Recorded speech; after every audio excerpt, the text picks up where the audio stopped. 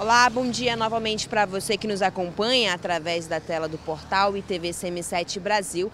A gente já traz mais informações de serviço também, porque além de ficar sem energia, é difícil ficar também sem água, né? A gente tem que tomar aquele banho, tomar aquele belo.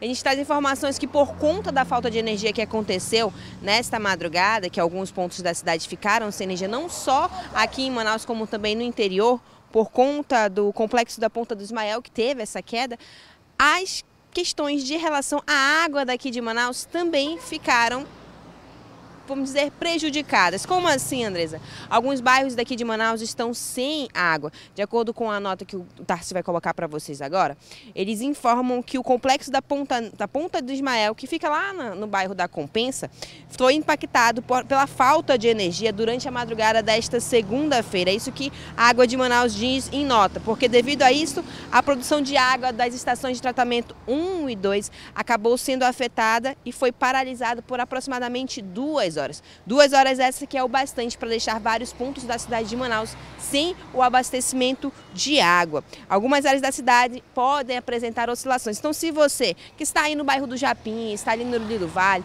ou em outro ponto já na zona norte da cidade, fique ciente que essa falta de água que está acontecendo na sua casa agora é por conta da falta de energia que deu mais cedo e que acabou paralisando duas sessões ali de, de água paralisou a estação 1 e 2, que acaba ocasionando essa falta de água em alguns pontos da cidade de Manaus. Mas, segundo informações da própria nota da água de Manaus, a produção de água já foi retomada e a previsão é que o serviço seja normalizado durante o dia. Então, se você que está precisando tomar aquele banho, tu, não separou a tua água, mano, aguarda que segundo a Água de Manaus, daqui a pouquinho volta aí água na tua residência, você vai poder tomar aquele banho, porque a gente sabe que nesse calor é complicado ficar sem água em casa, sem energia também, mas a questão da energia, alguns pontos da cidade já retornaram. Agora a gente fica aguardando aí a água retornar, o serviço voltar ao normal. Então não fica preocupado se no teu bairro está sem água, se você não consegue lavar uma louça, encher uma garrafa de água ou tomar um banho